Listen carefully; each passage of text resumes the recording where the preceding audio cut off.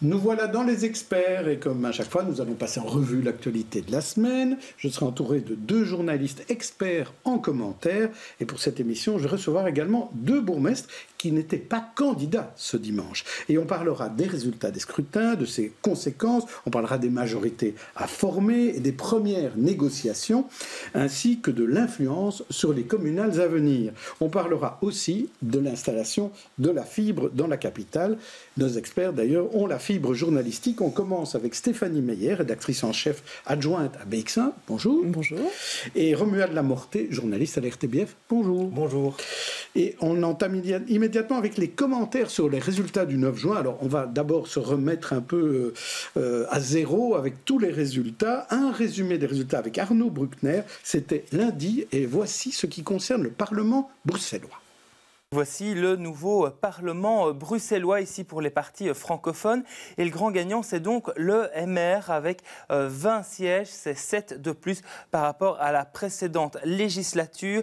Deuxième parti, le PS, 16 sièges. C'est un de moins par rapport à la dernière législature. Troisième parti, le PTB, 15 sièges en hausse de 5 sièges.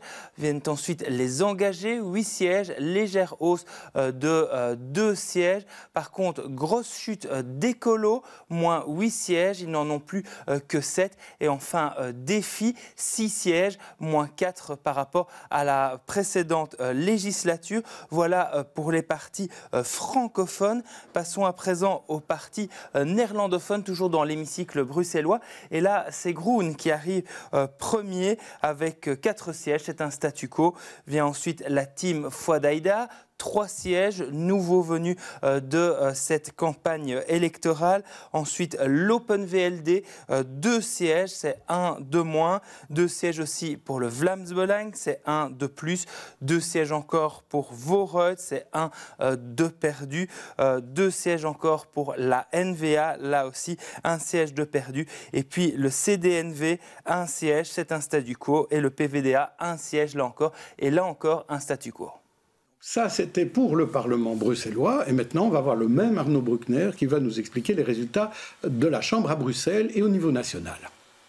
Et voici la circonscription de Bruxelles au niveau euh, des partis euh, francophones. Et donc c'est le PS qui arrive euh, premier avec quatre sièges en hausse. Donc il gagne un siège par rapport aux dernières élections. Le MR, un statu quo à trois sièges.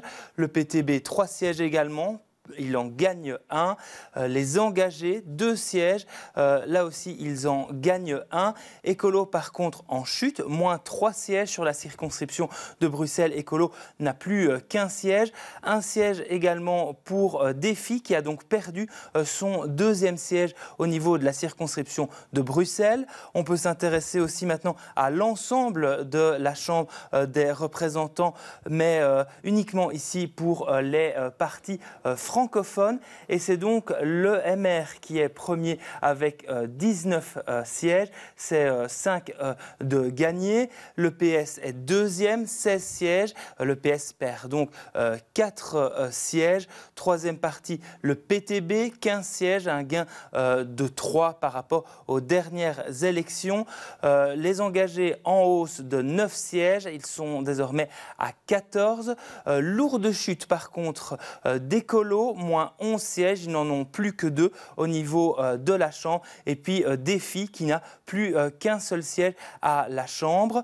On va maintenant s'intéresser aux partis néerlandophones sur l'ensemble de la Chambre des représentants. Et la première force politique, c'est la NVA avec 24 sièges, un de perdu. Seconde force, c'est le Vlamsbelang, 20 sièges. C'est une, c'est une hausse de euh, deux euh, sièges. Troisième partie, Voreux, euh, qui gagne plusieurs sièges lors de ces élections. Le CDNV est à 11 sièges.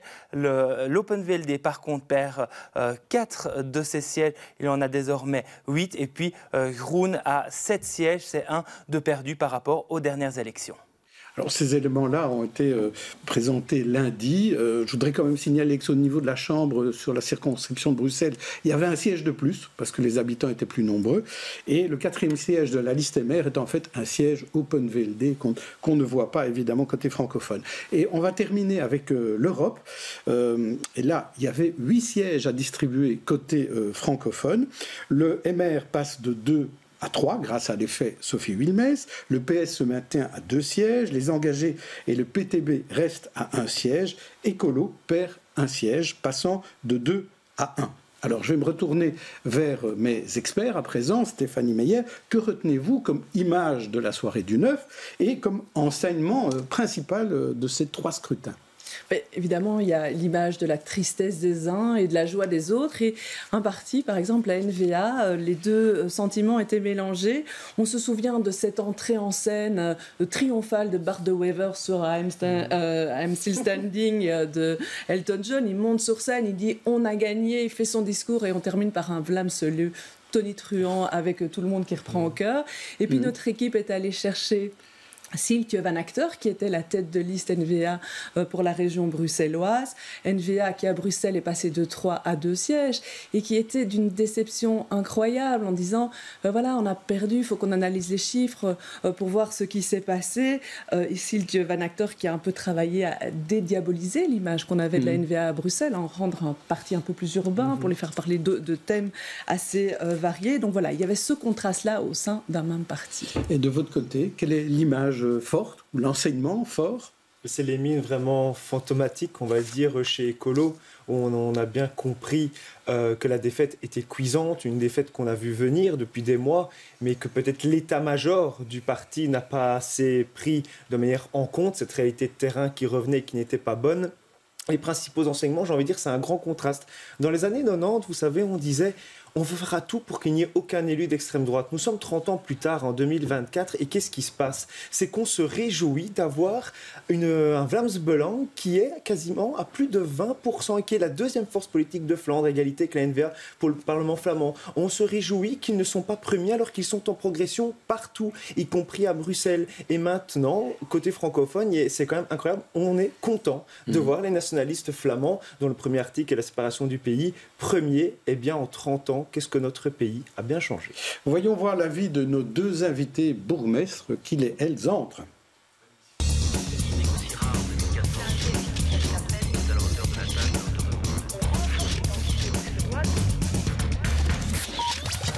Je vous, je vous, avais dit qu'il s'agissait de deux bourgmestres non candidats, effectivement, puisque nous avons Catherine Moureau, bourgmestre de Molenbeek, PS, et à ses côtés, Christos Doulkeridis, bourgmestre d'Ixelles, Écolo, et tous les deux n'était pas sur ces listes. Je, vais juste vous demander ça avant de connaître un peu votre avis. C'est pourquoi vous n'étiez pas sur, le, sur, la liste PS, euh, Catherine Moreau? Bah, Tout simplement parce que moi, euh, c'est clair que c'est pour Molenbeek que je me suis engagée.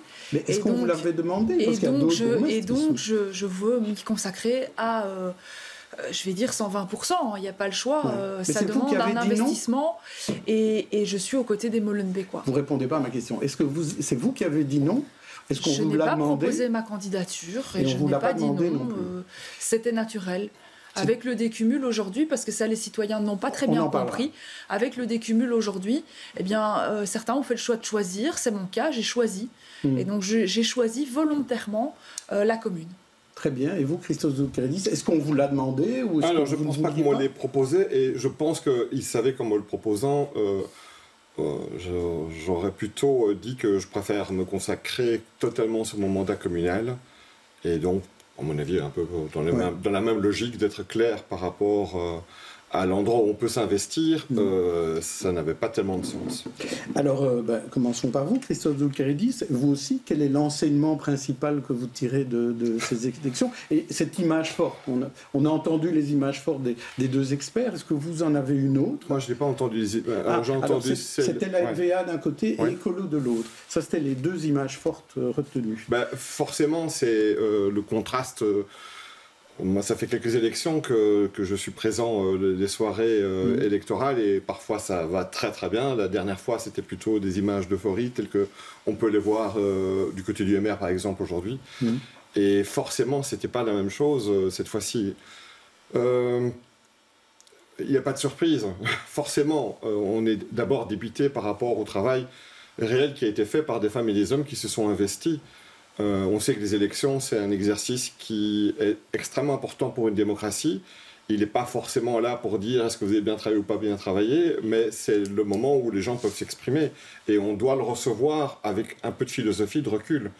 Euh, C'était le cas Non, c'est compliqué quand vous êtes directement impliqué, que hmm. vous avez travaillé vraiment euh, avec toute votre sincérité, euh, toutes vos convictions pour faire avancer un certain nombre de combats, de se retrouver avec un résultat où vous avez l'impression que c'est vous-même, un peu personnellement, hmm. qui êtes jugé, c'est compliqué forcément.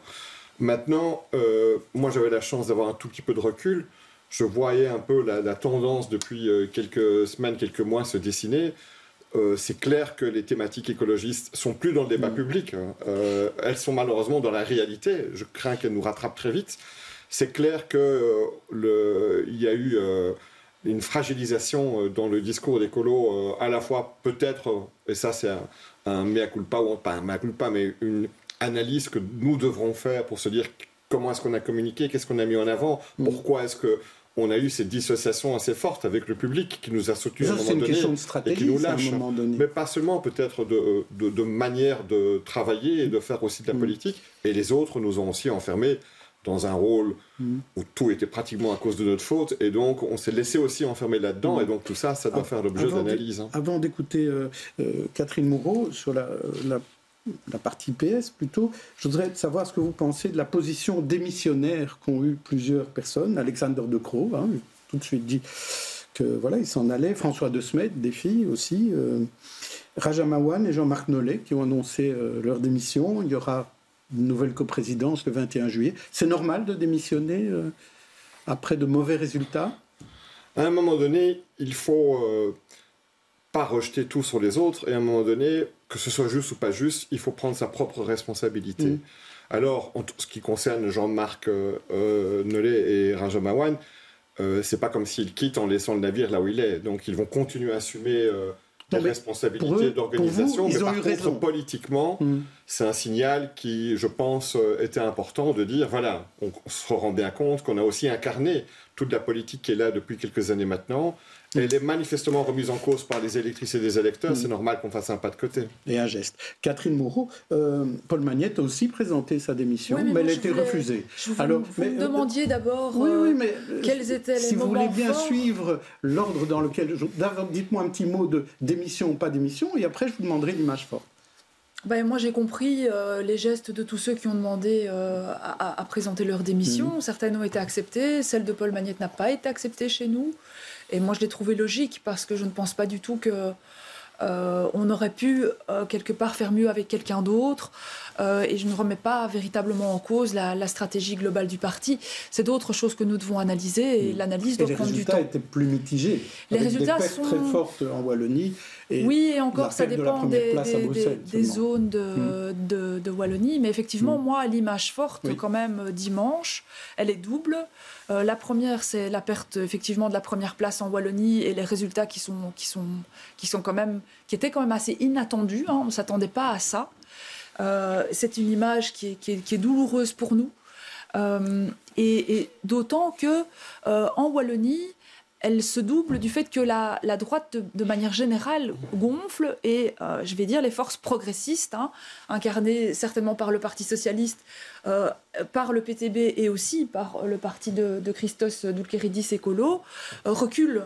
Et donc là, ça signe un petit peu le, paysage européen. C'est ce qu'on voit un peu partout ailleurs. C'est plutôt Bruxelles qui fait figure d'exception, ce côté-là où le PS se maintient et le PTB progresse. On est dans autre chose.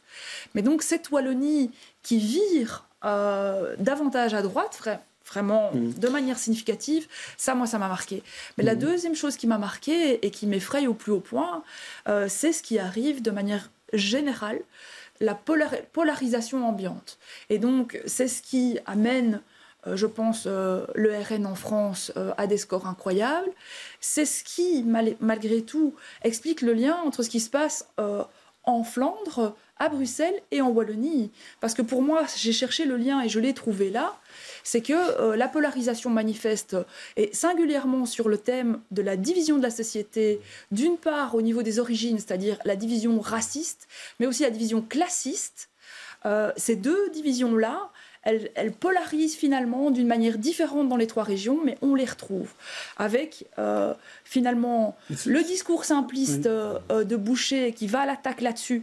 Et, j'étais, après coup, je me dis, mais non, d'une pipe, c'est vrai, le, leur programme, c'est pas un programme. Oui, mais il n'y a pas que le maire qui a gagné. Non, non, non, mais je continue. Les engagés, vous trouvez que c'est de la hmm. polarisation extrême? Pardonnez-moi, mais le MR a gagné et c'est le gagnant de cette élection. Et c'est sur base d'attaquer. C'est sur base. Hein. C'est sur base d'attaquer tout le temps. Et c'est sur base, et ça c'est le lien entre la Wallonie et Bruxelles, euh, d'une façon de rejeter l'autre. Que ce soit l'autre parce qu'il a une origine différente, ou que ce soit l'autre euh, parce qu'il euh, il est allocataire social versus le, le, travailleur à revenu. Donc, cette division-là là, de la société, on la retrouve pour la victoire du MR. Et, le PTB à Bruxelles, Et quand on voit le PTB, c'est aussi une campagne polarisante, mhm. avec euh, une manière aussi de s'investir comme étant le seul défenseur de la Palestine, c'est profondément diviseur. Euh, et comme euh, taper sur les riches plus fort que tous les autres, c'est aussi profondément mhm. diviseur. et donc, pour vous, c'est les partis polarisants. Ce simplisme et cette polarisation, mhm. elle traverse l'ensemble du paysage. Elle est facilitée par les réseaux sociaux, permettez-moi ce dernier mhm. élément. Et ça, c'est aussi une euh, leçon que nous, on doit recevoir comme parti euh, démocratique, profondément progressiste, euh, qui a participé au pouvoir. Et donc, bien sûr, on peut cibler la question de l'usure du pouvoir, mhm. on peut cibler la question du, fait de vouloir nous faire un vote sanction. Hein. Vous n'avez pas été assez bah. défenseur de ceci, pas assez loin. Ça, a touché. Mais mais aussi, mais aussi, mais aussi euh, cette question de faire campagne soit de manière relativement objective, avec un bilan, avec une certaine honnêteté, contre une campagne qui finalement n'est pas sur le programme, mais est euh, hyper punchline avec euh, uniquement de la polarisation. Et c'est ce qu'a fait Georges-Louis Boucher. Et, moi je suis triste, que je suis triste que ça ait fonctionné. Vous trouvez que le PS par exemple en, en attaquant écolo en fin de campagne n'a pas fait ça. et en utilisant les réseaux sociaux comme les autres, n'a pas fait ça. Pardonnez-moi, donc je ne pense pas du tout qu'on soit dans la même catégorie.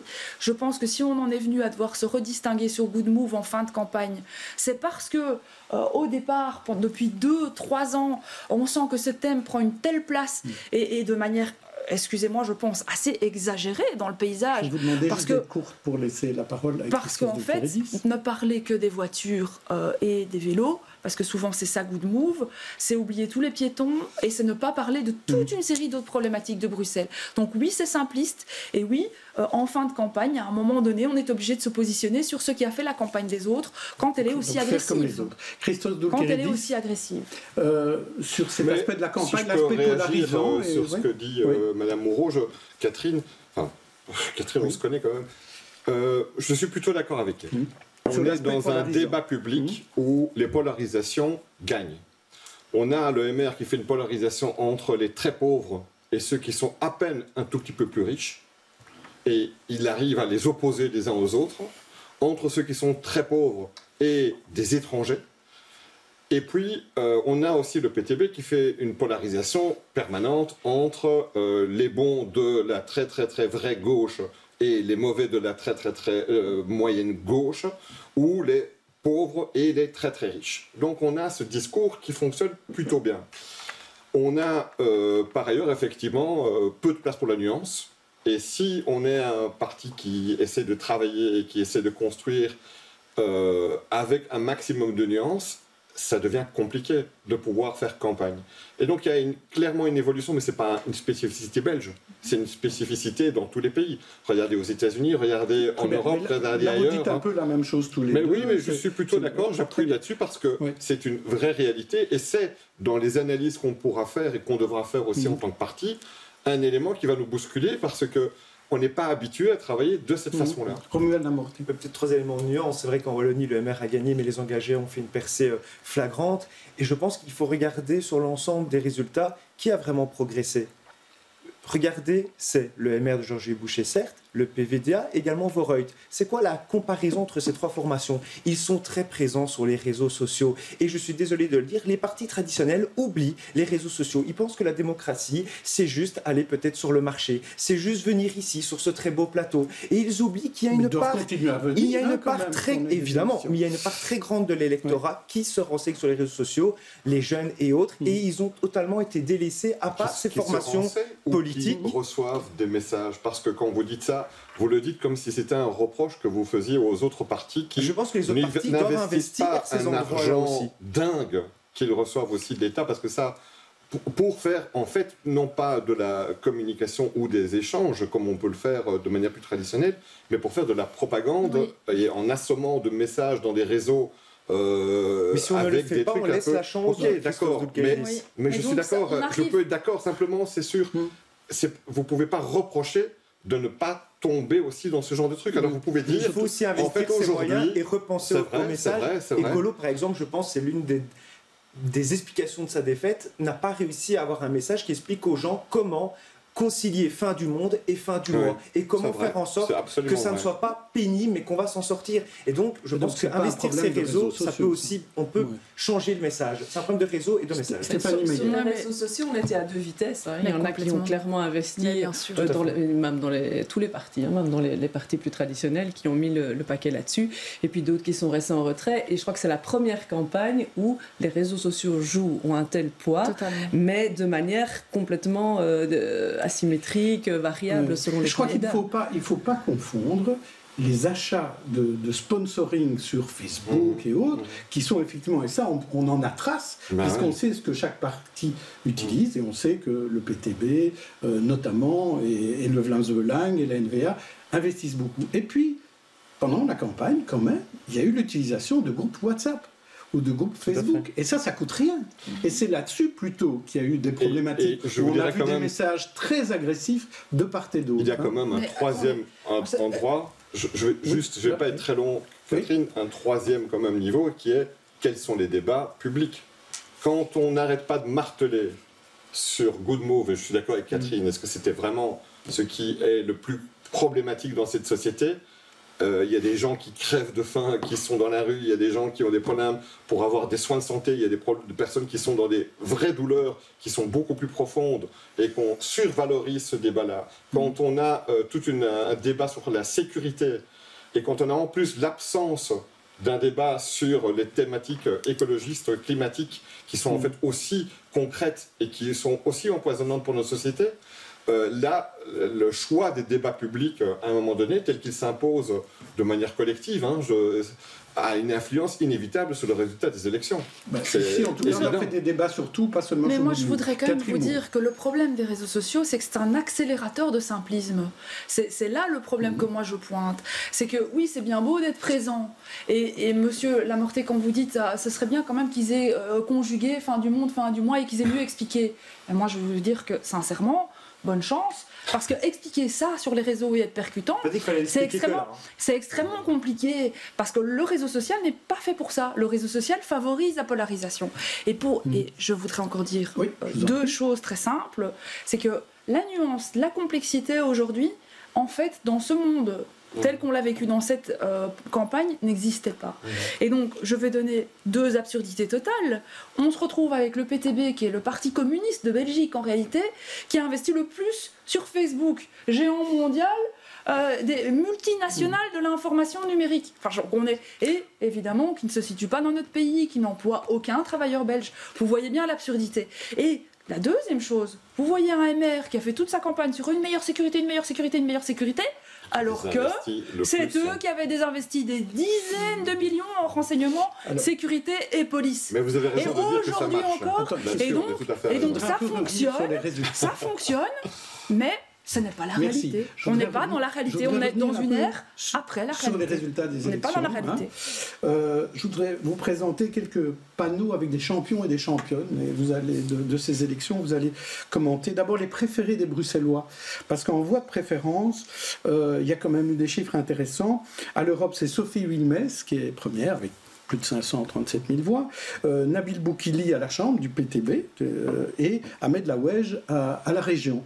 Donc euh, c'est eux qui font les meilleures voix de préférence. Donc un PTB à la Chambre, un socialiste à la région, une libérale à l'Europe. Une réaction là-dessus sur un, score de l'un ou de l'autre? J'ai voté pour aucun des trois. Mais... Alors, il y a aussi ce qu'on a appelé les lapins blancs. Alors, les lapins blancs, c'est ceux qu'on sort d'un chapeau et qui sont des gens de la société civile qui ont été élus. Il y a Lubna Asgoud, OMR, une entrepreneuse digitale, Ludivine de Magnanville, chez Défi, euh, restauratrice, Alain Deneuve, un entrepreneur chez les engagés, Najima El Arboui, euh, au Team Foi c'est une influenceuse, Olivier Riedweger de Mort, lui c'est un stibar au PTB, et Olivier Huilox, euh, qui était le directeur de BC euh, euh, OMR. Je pourrais rajouter aussi des Wallons, Julie Taton, Armel Gayssen, Yves Copiters ou Vincent Blondel. Est-ce que là, l'utilisation de ces lapins blancs, c'est une réussite, Christophe Doulkeridis Je vais reprendre la remarque de, de monsieur. Ça marche on peut dire que ça fonctionne. Est-ce que c'est dans mes valeurs? Non. Je pense que mm. euh, la plupart de ces personnes n'ont pas été mises en avant pendant la campagne. Euh, on a des reportages sur ces personnes après la campagne, euh, avec des reportages dans les télés. Bon, après, il y a des gens qui sont totalement hein. compétents dans mm. leur domaine hein, et qui mm. peuvent faire leurs preuves en politique. Moi, je, on ne peut pas critiquer quelqu'un a priori, mais, c'est clair que la volonté de pouvoir aller chercher certains noms qui sont très connus, c'est aussi parfois de la stratégie politique. Après, il faut vérifier la cohérence entre euh, le, projet qui est porté par ces personnes dans leur euh, milieu et puis Olivier Hulox, qui était déjà MR qui, et qui se retrouve au MR. Il était chef de cabinet euh, de M. Asquin à l'époque et il s'est retrouvé ici candidat, bah, il y a une cohérence. Donc euh, il, y il, y en a d'autres comme ça qu'on pourrait prendre. Catherine Moreau, là-dessus, sur ce ouais, Moi, je trouve que cette liste-là, pardonnez-moi, c'est pas vraiment ceux dont j'aurais envie de parler. Bon, Pour moi, les lapins blancs. Non, non, je, vais, je, vais, je vais répondre. Pour moi, les lapins blancs, c'est Julie Taton. Ah, c'est mis les euh, Bruxellois, là. C'est Marc Isaïe, mais ceux que vous avez mis là, est-ce que je pourrais parler, monsieur Deleu Est-ce que je pourrais parler, s'il vous plaît? En fait, ceux qui sont là sont des gens, effectivement, dont on n'est pas surpris. Euh, certainement, moi, les, ceux que je connais là, ils ne me surprennent pas. Monsieur Denet était mm. toujours aux engagés. Mm. Madame bah, finalement, après l'avoir entendue, elle a un peu erré, mais elle se retrouve là où il me semble qu'elle appartient. Elle ne fait pas un très bon score, malheureusement, là où elle est. Euh, je sais, parce mm-hmm. qu'elle est bien mm-hmm. placée. Et Monsieur Willock, c'est pour une surprise pour personne. En fait, il a toujours été maire. Donc... Alors, ceux qui devront choisir, et ça revient un peu à ma question au début, euh, c'est les bourgmestres qui se présentaient. Il y en a un qui a choisi, c'est Philippe Claus, il prêtera pas serment. Euh, il y a Ridouane Chaïd, Vincent de Wolf, Ahmed Lawège, Lydia Moutiébélé et Chine, mais elle nous a dit qu'elle elle prêterait serment. Donc, comment est-ce qu'ils doivent choisir, euh, Catherine Moreau, d'après vous? C'est un choix qui n'est pas facile, qui appartient à chacun. Je pense que ça dépend de l'étape de la vie politique, ça dépend des, des, euh, des personnes euh, de la société civile avec lesquelles on est le plus en lien. C'est un choix vraiment personnel. Je comprends Lydia Moutier-Bellé, qui est très bien élue à la Chambre, euh, qui a fait un très bon office de, d'échevine à la ville de Bruxelles et qui continue sur une trajectoire qui est, qui est exceptionnelle en fait, qui est remarquable. Ne, ne, suivez pas nécessairement mon exemple. Chacun peut faire comme il Moi, je pense que c'est vraiment quelque chose qu'on doit sentir. Le J'ai aucun jugement là-dessus. Très bien. Alors on va passer au doyen et au benjamin. Pierre Compagnie à la Chambre est le doyen et la différence d'âge avec le benjamin du Parlement bruxellois, Mehdi Talbi du PTB, c'est 52 ans. Et alors par contre le doyen au Parlement bruxellois, ce sera Bertin Mampaka. Donc c'est lui qui va présider la première séance. Et alors je, je rajoute juste pour le plaisir ceux qui étaient de la famille, mais enfin les familles politiques euh, Catherine Moreau, vous aussi, euh, vous avez un papa ah très célèbre dans la politique. Et là, on a Louis de Clipoleux et Éléonore de Simonet, Éléonore Simonet, qui sont élus pour la première fois. Euh, voilà, donc juste à signaler. Je ne sais pas si vous vouliez ajouter quelque chose là-dessus. Le, le, vote peut-être d'Éléonore Simonet parce qu'on parle souvent du vote parfois communautariste, on accuse certains partis, mais quand on regarde les personnalités qui ont été élues au MR, mhm. on pourrait dire qu'alors là, un vote autrement communautariste, mais plutôt de personnes qui ont une certaine bien établie, bourgeois, qui ont, qui ont de l'argent. Donc moi, ça m'a fait tiquer, je me suis dit, ah tiens, une certaine famille, un certain milieu a réussi à être élu, mais là, personne ne parle de vote communautariste. Donc parfois, le vote communautariste, bah, c'est chez les uns et chez les autres. C'est un autre exemple de communautarisme très très complet. Hein. Oui, oui, mais euh, ici, je n'ai pris que les nouveaux. Hein, Merci, M. Lamorté, vous avez tout à fait raison. C'est vrai. Euh, je voudrais faire amende honorable. Le 24 juin 2023, j'ai invité dans les experts un député bruxellois du parti Voreuil, du nom de Foi Daïdar, au moment où il n'est choisi ni pour remplacer Pascal Smet comme secrétaire d'État, ni pour mener la liste communale. Et voici le dialogue lors de l'émission avant que Fouad Haïdar se fasse exclure de vos reutes. Là, tu, je veux dire, on fait plus de 1300 voix de préférence dans une commune comme Jette. Tu dis, il y a quand même euh, voilà, un public euh, potentiel, euh, alors que tout le monde sait que mon électorat est un peu ailleurs. Et, je me dis, pourquoi pas Mais voilà, on ne sait pas. Je, mais en tout cas, ce qui est sûr, c'est que nous Vous avons... laissé une porte ouverte quand même. moi, je laisse plus Pour une, liste Aïda. Pas mal ça. alors, bon, alors je dis pas que c'est moi qui lui ai donné l'idée, parce qu'il voulait déjà se présenter seul. Hein. Mais sur le nom, peut-être qu'il y a une petite influence. Parlons-en deux fois d'Aïda. C'est une surprise pour vous, Catherine Moreau, de euh, voir son score? Pour moi, c'était pas une surprise, parce que je pense qu'on a tort, de, on a tort encore aujourd'hui de sous-estimer Fouad Haïdar. Fouad Haïdar est quelqu'un qui a une expérience politique redoutable. Il est là depuis, euh, je crois que ça doit être 20 ans maintenant en politique.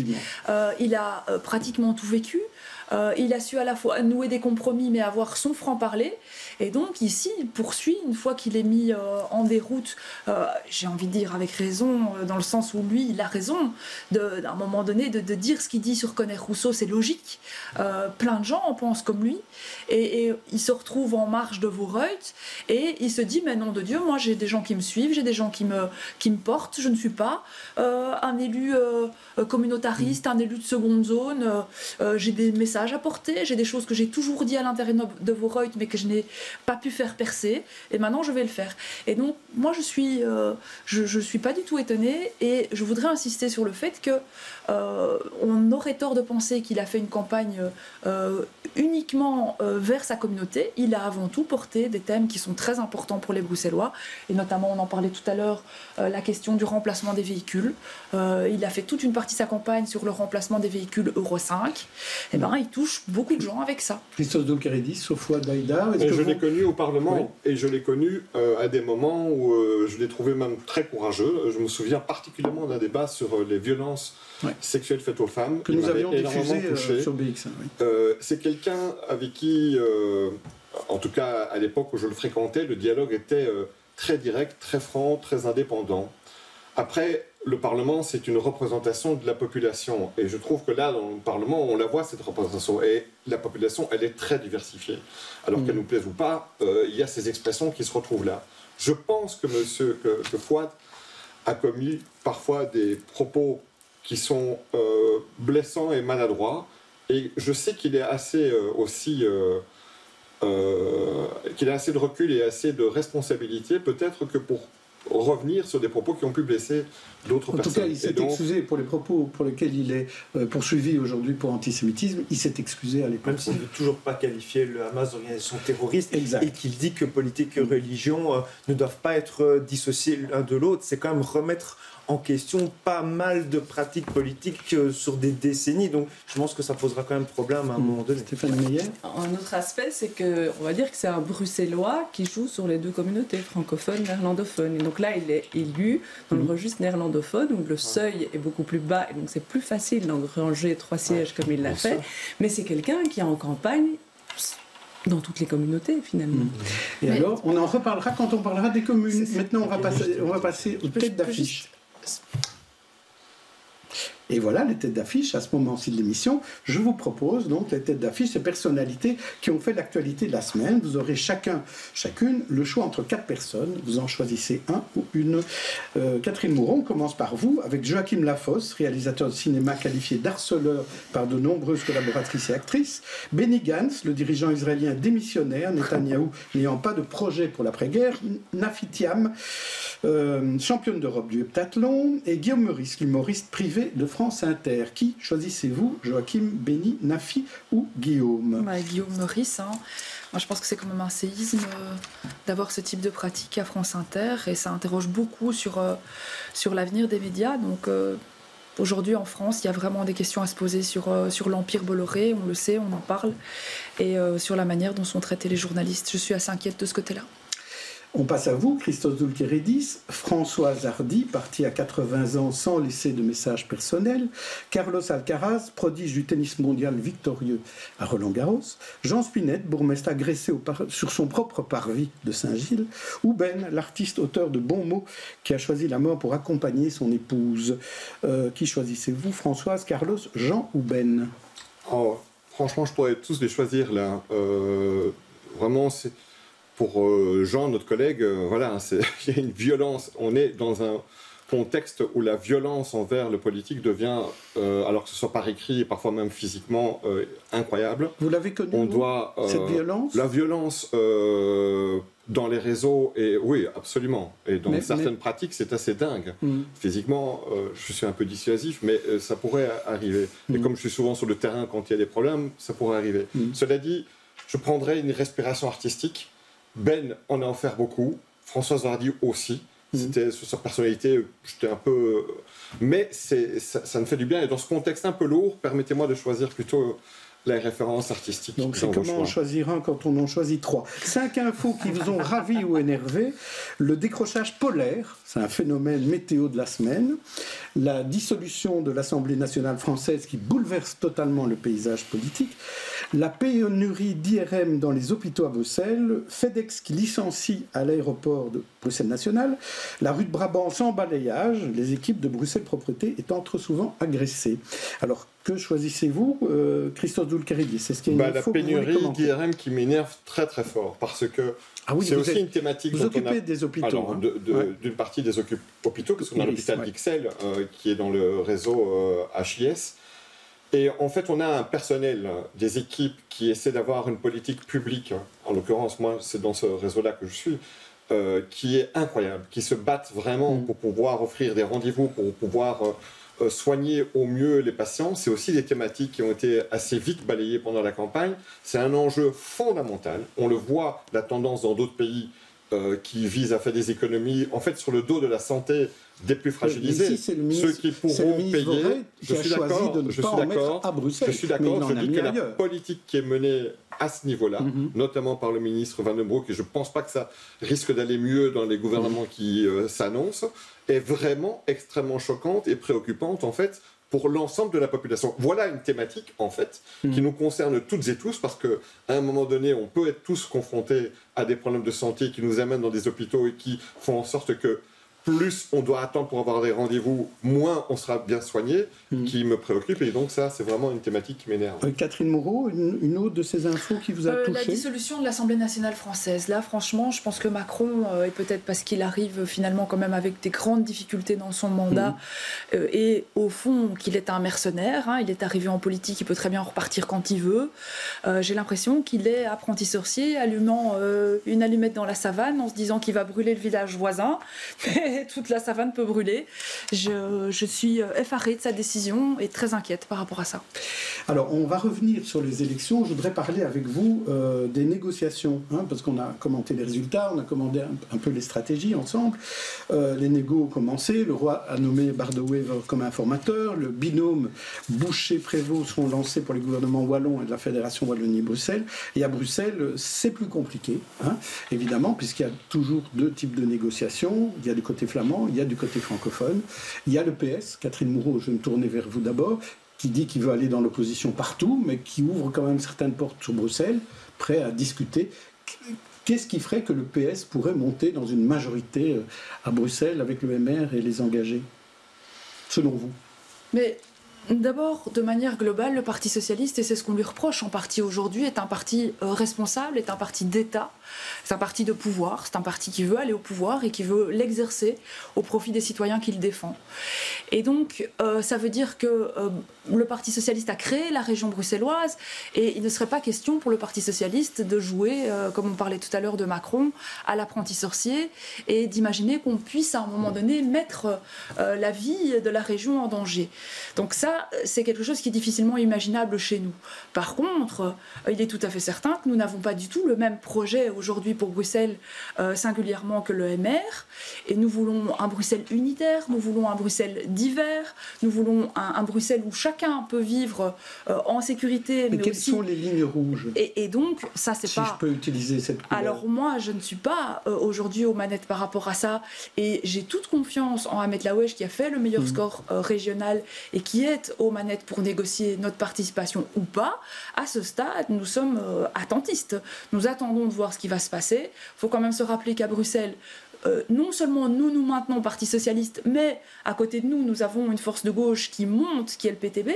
Et donc, même si écolo diminue, ce n'est pas dans les mêmes termes que la montée du PTB. Et donc, il y a également là moyen euh, d'avoir d'autres types de projets. majorité. Et donc, moi, je pense que nous sommes euh, attentistes. Euh, nous ne mettrons pas la région bruxelloise en danger parce que nous ne pouvons pas nous permettre qu'elle soit à nouveau stigmatisée ou qu'on lui tire dessus. évidemment, vous pensez comme moi à la Flandre quand je dis ça. Mm. On ne peut pas se permettre ça. Donc, on sera responsable pour Bruxelles, mais pour l'instant, nous n'avons pas les clés en main. C'est le MR qui est sorti premier de cette élection. Traditionnellement, dans notre démocratie ici, c'est lui, après le vote à la proportionnelle, qui prend donc la main.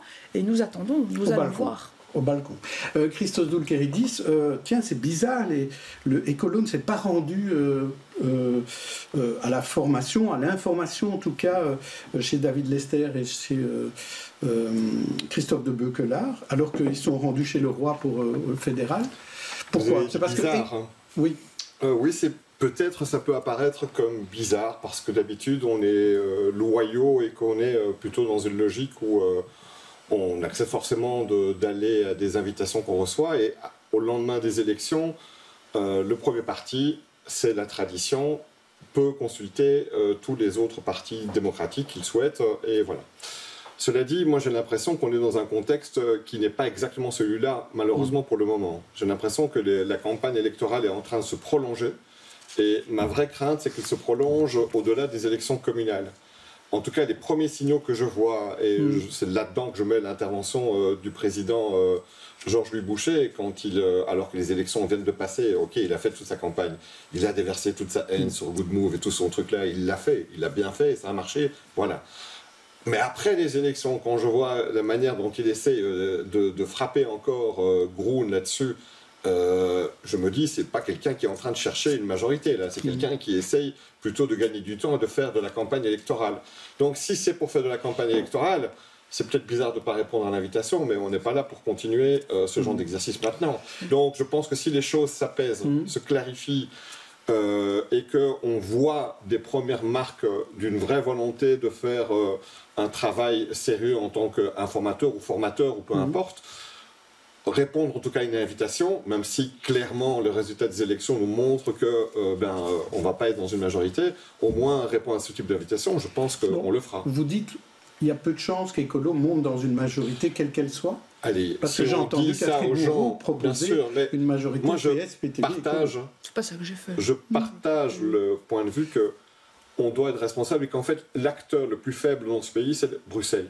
Si on mm. regarde par rapport au fédéral, si on regarde par rapport aux deux autres régions, euh, même à la communauté germanophone, on est les plus fragiles parce que les autres nous tapent dessus très régulièrement, mm. ne nous veulent pas du bien, et donc installer, laisser installer une fragilité liée au fait qu'il n'y a rien qui se passe à Bruxelles, mm. c'est très inquiétant. C'est pour ça que j'étais content d'entendre le discours euh, de Elk Van Brand de Grund, qui finalement, aujourd'hui, a le discours le plus responsable par rapport à la situation de Bruxelles. Je pense que le MR va se ressaisir, mais il est temps de pouvoir aussi euh, euh, ne pas oublier cet enjeu qui est pas simplement l'avenir de nos propres partis, mais l'avenir de cette région que je, que je souligne. Oui, et David Lester, lui, ne parle pas pour l'instant, justement, peut-être dans cet esprit-là. Stéphanie Meyer. On est à un moment un peu atypique. Moi, dans mon souvenir, à chaque élection, c'est toujours le gouvernement bruxellois qui a été mis en place en premier, mhm. parce que c'était le plus simple et les accords se faisaient assez rapidement et c'était important.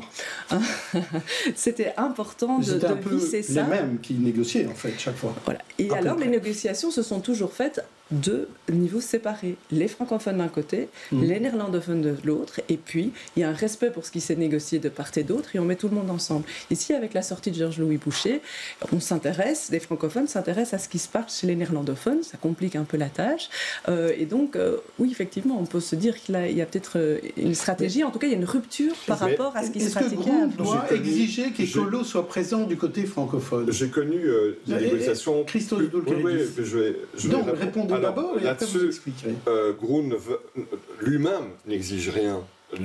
Euh, Grun n'a pas arrêté de dire, je le comprends, depuis le départ, on serait beaucoup plus à l'aise si Écolo était avec hmm. nous. Mais jamais Grun n'est venu en disant j'exige que Écolo soit là et de toute façon, c'est pas comme ça que ça fonctionnerait. Mais je voulais hmm. simplement dire que dans, les, dans la constitution des majorités précédentes, effectivement, ça se fait d'un côté entre francophones et néerlandophones. Mais le candidat ministre-président a toujours, toujours eu un dialogue avec le premier parti néerlandophone pour que justement euh, on sache vers quoi on va ensemble. C'est un minimum au niveau de la région, bien sûr. C'est logique. Euh, Romuald Lamorté Oui, peut-être juste rappeler ben, aux gens qui nous regardent et qui nous écoutent que de toute façon, ces acteurs vont être amenés à nouer des compromis parce qu'on n'est pas au gouvernement fédéral où on peut convoquer et dissoudre euh, la mmh. Chambre. Mmh. Donc, il n'y aura pas de nouvelles élections. Dans, pendant cinq ans, ces gens vont devoir former des gouvernements.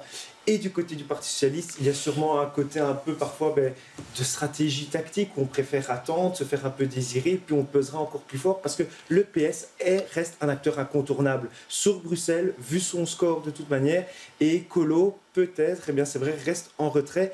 Mais les propos de Zaké Katabi qui dit on a été attaqué par le PS et le MR maintenant qu'il gouverne et après moi les mouches, je ne suis pas sûr que ce soit le plus responsable si à un moment il faudra peut-être construire une majorité alternative. Le lendemain des élections, avec le résultat qui est celui-là, avec la campagne qui était celle-là, voilà, on peut aussi accepter que pour euh, certains euh, responsables politiques, à un moment donné, on peut Mais Georges Louis aussi, c'était peut-être aussi sous le coup de l'émotion. Oui, depuis, euh, depuis, depuis, 5 ans. Depuis 5 ans. Très bien, Stéphane euh, Numériquement parlant, il y a deux options. On a donc les MR engagés, soit ils vont avec les socialistes, soit ils vont avec des filles écolos. Alors, je me trompe dans mes calculs, il n'y a pas beaucoup d'autres solutions dès lors ils ont exclu le PTB.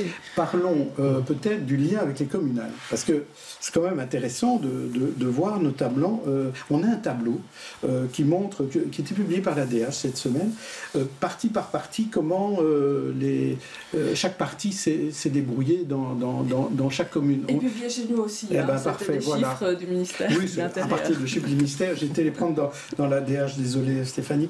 Et donc, euh, si on prend euh, le tableau du, du, PS, on voit que Molenbeek reste un fief très très fort au niveau euh, socialiste, puisque c'est là où on trouve plus de 30% du PS par rapport à, à d'autres communes où il y a des pourcentages moindres. Et si on regarde le tableau d'écolo, on voit là aussi euh, que XL se situe plutôt dans la fourchette haute par rapport aux autres, euh, communes. Donc, euh, est-ce que ça veut dire, je vais vous poser la question, quelles leçons vous, vous tirez personnellement des chiffres pour voir qu'est-ce qui va se passer au communal Catherine Moreau à Molenbeek? Deux choses. La première, très simplement, c'est que la dynamique d'une communale est tout à fait différente euh, et c'est singulièrement euh, le cas dans, toutes les communes. Je prendrais Scarbeck par exemple, où le PS score toujours euh, à la régionale, à la fédérale et à la communale a plus de mal. et, mais là, la proximité des deux scrutins. Je ne suis pas sûre. Je ne suis pas sûre. Sincèrement, je pense que ce sont des dynamiques essentiellement différentes mm. et, ceci, à mon avis, ne fait que s'accroître dans un contexte où on voit que de plus en plus de citoyens vote pour des gens plutôt que pour des partis. Donc là, il y a quand même quelque chose de particulier. C'est la première chose que je voulais dire. La, la deuxième chose, chez nous, euh, on continue d'observer une montée en fait de la gauche. Et donc le PTB monte à nouveau. Mhm. Euh, et si ça devait euh, se, se, transposer dans la communale, il y aurait à nouveau la possibilité d'une majorité comme celle que je leur avais proposée en 2018. Et, là, moi, ça veut mhm. dire que depuis la, la, nuit de dimanche à lundi, je me dis, mais est-ce que je vais me retrouver dans le même type de scénario où ils invoquent n'importe quoi pour, pour échapper à leurs responsabilités comme je pense malheureusement euh, avoir entendu Edebo le soir, dimanche, j'étais là. Et, peut-être euh, qu'ils auront des leurs fameuses lignes rouges, ils les auront peut-être pour les communes. Ah ben, moi, je me pose la question de savoir s'ils sont capables de faire des compromis, s'ils mm. ont vraiment le personnel politique pour pouvoir administrer une commune. Mm. Comment ils vont faire demain si euh, ils continuent de, de, monter dans certaines communes? Je suis franchement, j'attends parce que j'ai quand même encore euh, un goût amer de ce qui s'est passé en 2018, où c'était vraiment la, la, mauvaise foi incarnée qui était là, euh, et, avec des choses absolument hallucinantes. il y aurait une belle campagne, en tout cas, au communal. Et euh, Christophe Douquet dit ça excelle, quand, quand vous regardez les chiffres, quand vous analysez les chiffres, est-ce que ça vous inquiète, ou bien vous dites comme Catherine Moreau, oh, ça n'aura pas nécessairement de conséquences? Non, les, les chiffres à Excel sont pas aussi élevés qu'on avait eu euh, il y a 5 ans ou 6 ans, mais ils sont effectivement beaucoup plus élevés que dans beaucoup d'autres endroits. Euh, maintenant, euh, moi, je vais faire forcément une campagne sur base d'un bilan, en fait, dont je suis très, très, très fier. Donc, il n'y a pas de raison que ces élections mmh. m'influencent. On a, on a hérité aussi d'une situation, il ne faut pas oublier que quand on arrive c'est parce qu'en fait, il y a un rejet de ce qui a été fait auparavant dans cette commune mmh. et une demande de faire un certain nombre de changements qui étaient attendus depuis longtemps. Et ces changements, on a pu les faire dans des domaines très très très différents pour que la commune soit plus verte, pour qu'elle soit plus équitable, pour qu'elle soit euh, plus inclusive auprès de tous les publics. et donc, cette campagne, on, ça vous fait pas peur alors? La, question de la peur, elle est de toute façon, vous mm. savez, il y a des choses beaucoup plus graves que ça. Oui, bien sûr. J'ai perdu mes deux parents, ça c'est un truc grave. Ici, euh, perdre un mandat ou quoi que ce soit, quand on voit de quoi ça dépend, il y a, je disais, euh, on risque d'avoir une campagne, en fait, euh, pas de gouvernement à la région et une campagne électorale qui va se prolonger euh, euh, qui va commencer déjà maintenant et qui va aller jusqu'aux élections communales. Influence, et donc, il peut y avoir des jeux politiques entre, par exemple, le ML, le PS pour se dire, tiens, on se partage du territoire ou avec d'autres partis. Et tous ces trucs-là font en sorte que vous n'avez pas une maîtrise totale. La seule maîtrise que vous pouvez avoir est mm. est-ce que je suis cohérent par rapport à ce que je fais? Est-ce que je suis cohérent par mm. rapport à ce à quoi je me suis engagé en prenant ce mandat-là? Est-ce qu'on le fait avec honnêteté? Est-ce qu'on le fait avec détermination? Et que les gens jugent, et à un moment donné, on verra mm. bien le résultat. Stéphanie Meyer. Alors, au, communal, il y aura quand même des éléments en plus. Alors, Fouadaïdar a annoncé qu'il allait déposer des listes dans certaines communes. Donc, voilà, ça, ça pourrait participer aussi à un éparpillement de la gauche, hein, PTB, PS, Écolo, euh, Haïdar. Donc là, il y aura ce phénomène-là.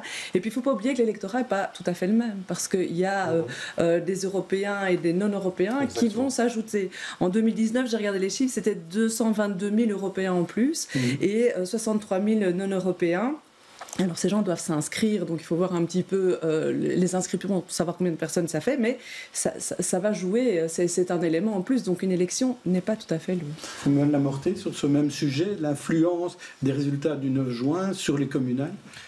C'est vrai qu'il y a cet argument de proximité, mais généralement la réalité d'une commune, d'une ville est très différente. Euh, déjà, les listes ne se prénomment pas de la même manière parfois. Ils sont encartés les autres, c'est pas toujours très lisible si on regarde ça de loin. Donc je pense pas qu'il y ait une influence directe. Par contre, c'est vrai que c'est assez exceptionnel que pour une fois, il y ait ces élections un peu de manière concomitante. Je pense que c'est pas avant peut-être 30 ans qu'on arrivera à, quelque chose comme, comme cela, mais je pense pas que ça a un impact direct dans la réalité des communes. Je pense que les résultats seront assez divergents de ce qu'on voit maintenant. Alors quand même, il y a aussi une différence, c'est que dans une commune, ben, c'est comme à la Chambre, il n'y a pas de collège francophone, de collège néerlandophone. Mmh. Donc la présence de néerlandophones sur listes du bourgmestre, par exemple, ça peut être important. Est-ce que vous construisez ces listes? D'abord, est-ce qu'elle est déjà construite, la liste euh, ah, euh, du bourgmestre à, Molenbeek on, avait, euh, on a un appel à candidature qui court pour l'instant. Mhm. On tenait à ce qu'il se termine après l'élection du, 9, mhm. du 9 juin. Et donc, on va commencer la confection de la liste la semaine prochaine, concrètement. Mhm. Voilà. Mais pour répondre à votre question, bien sûr, c'est évidemment logique. Moi, j'ai au moins 14 quartiers dans ma commune, euh, j'ai toutes sortes de communautés présentes, euh, il y a des, enjeux différents en mhm. fonction des quartiers, et donc ça fait partie de la, de la constitution de la liste, évidemment. Chez vous aussi, bon, euh, Oui, de toute façon, on avait déjà une liste qui était avec Groen, et mhm. on va poursuivre dans cette direction-là, et on avait déjà une liste qui était ouverte à des personnes qui ne sont pas spécialement étiquetées, qui n'ont pas Mais ce sera une liste de bourgmestre chez vous, ou une liste écolo Groen? Ce sera inévitablement une liste avec le bourgmestre, hein, sur le nom de la liste. J'avoue que en fait, euh, ce que je ne veux pas donner comme impression en changeant de nom, c'est qu'on renierait à Écolo Group parce qu'il y a mm. des euh, résultats électoraux qui n'étaient pas à la hauteur de ce qu'on pouvait attendre. Mm. Parce qu'on est, voilà, dans nos convictions, on est convaincu. Dans la méthode, c'est autre chose, mais dans nos convictions, on est certain. Euh, c'est encore en discussion, mais inévitablement, ce sera la liste du bourgmestre actuel. Mm. très bien. Stéphane Niemeyer, vous voulez ajouter encore quelque chose Il y a des accords préélectoraux qui ont déjà été euh, vissés dans certaines communes, donc il faudra voir un peu ici est-ce que ça va, euh, bouger la donne? Parce que mmh. Soren, ils ont décidé de euh, la, liste du bourgmestre, donc est plutôt engagé, de s'allier avec PS et Défi et de rejeter le MR dans l'opposition de ce qui se passe maintenant. Est-ce que cet accord va tenir C'est la question. Euh, voilà, mais donc ça, ça, peut encore bouger un petit peu à ce niveau-là. Mais moi j'avais la question, oui, à Huc aussi. Est-ce que, qu'est-ce que vous pensez en fait de ces accords préélectoraux au niveau communal? Est-ce qu'il vaut mieux des accords préélectoraux ou pas d'accords ou des accords secrets? je pense, Oui, c'est ça. Moi, je pense que si, si l'accord préélectoral est, est, expliqué aux citoyens, c'est une bonne chose. c'est de la transparence. C'est transparent. Parce que certains citoyens se disent alors pourquoi aller voter? Puisque bah, tout Ils peuvent joué. choisir l'un des deux partenaires s'ils sont séduits par euh, l'un des deux. Non, je trouve que ça, ça fait partie de la transparence. Les accords secrets, je ne suis pas très fan, j'avoue. Donc il n'y a pas d'accord secret. Il n'y a pas d'accord secret chez nous. Euh, on a, on a eu un travail. Secrets, on a eu un travail. Pas. Non, mais ce qui est, ce qui est Donc, même si on a un, vous allez. Mais pas ce qui est intéressant, ce qui est intéressant à soulever, c'est que moi, vous savez qu'en 2018, je voulais euh, gouverner en entendant euh, les urnes et donc avec les forces de gauche, ce qui ne m'a pas été permis par le PTB qui s'est retiré, qui s'est débimé. J'ai été du coup euh, forcé dans les bras du MR et moi je veux souligner que euh, nous avons travaillé de manière très très correcte et nous avons pu mettre en, ensemble en place ce qui était ma priorité, c'est-à-dire euh, un lourd plan de rénovation de nos écoles. Et aujourd'hui on a investi plus de 30 millions, on a été chercher énormément de subsides bon supplémentaires. et on a pu mettre en œuvre mmh. au service de nos, de nos enfants et de nos parents euh, une belle politique à deux. Donc voilà, c'est pour illustrer un petit peu que les choses ne sont pas aussi simples. Il n'y avait pas d'accord préélectoral, il y a un résultat des urnes, il y a une tentative d'aller dans un sens, mmh. et puis finalement une majorité qui fonctionne oui. autre. Donc, Christophe Zulkeridis, de voilà. votre côté, les accords, qu'est-ce que vous en pensez? On n'a pas d'accord donc avec personne. Euh, cela dit, on a une majorité qui fonctionne avec un partenaire qui est, en l'occurrence ici, est le Parti Socialiste, avec qui, moi je l'ai dit, le bilan qu'on a euh, proposé et qu'on a réalisé ensemble, j'en suis très fier. Et on va continuer à y travailler jusqu'au bout. Après, euh, quand on dit euh, que les choses sont claires, quand on donne un accord préélectoral mmh. en disant voilà, notre préférence est plutôt là, oui celui ou celle qui est bourgmestre a un rôle quand même prépondérant au niveau communal en particulier par mmh. rapport à d'autres niveaux de pouvoir. Le rôle et la personnalité du bourgmestre, c'est forcément un peu différent. Donc, et vous quand on fait un choix... Le PTB ou pas? Dans euh, la commune, par exemple. Mais le PTB, en fait, on a deux élus du PTB. Ça peut changer sont en octobre. très différents, euh, les deux. Euh, je ne sais pas ce que ça va donner, très mmh. sincèrement.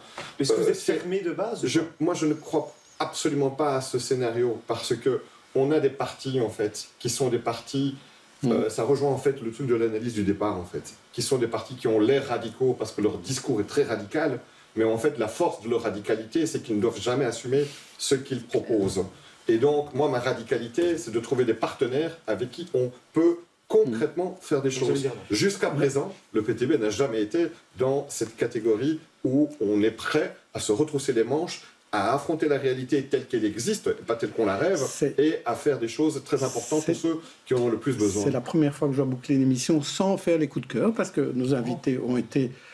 C'est très... la première fois que je parle aussi peu. Hein. Non, ont été particulièrement diserts et intéressants. Voilà, merci en tout cas à tous les quatre. Et c'est Stéphanie Meyer qui présentera à ma place la semaine prochaine. Au revoir, bon week-end.